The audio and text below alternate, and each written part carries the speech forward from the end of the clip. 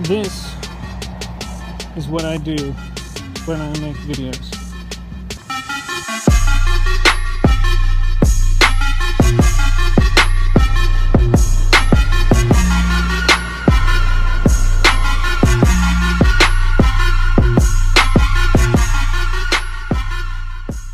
With this 30 day video challenge, the number one thing that has been most difficult is this part right here. Where we go from this to this. Once I hit record, I'm capturing instead of dreaming. I'm doing instead of thinking, and that is scary. My recommendation if you have to do a video every day is to forget about the technical side of things and just focus on your content, on your story, on what you're trying to tell.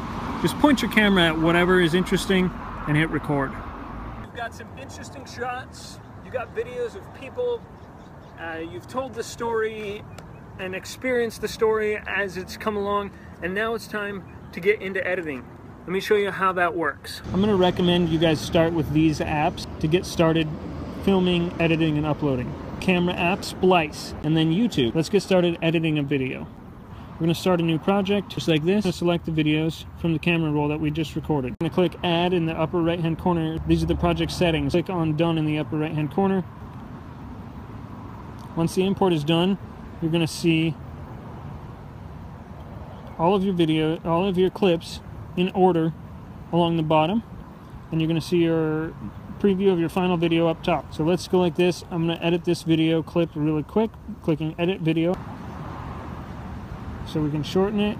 At the top here, you're going to click share. It's on the right side. And click save. You're going to have the option to save in HD, which I recommend.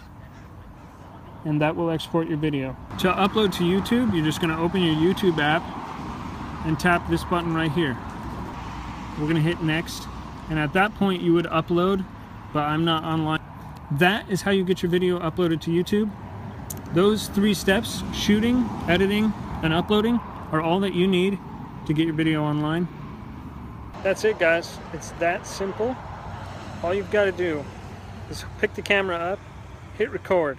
I can't wait to see what you're making with your videos. When you're done uploading your video, please send me a link and I'll take a look and put a comment on there. Get started. I want to see it. Let's go.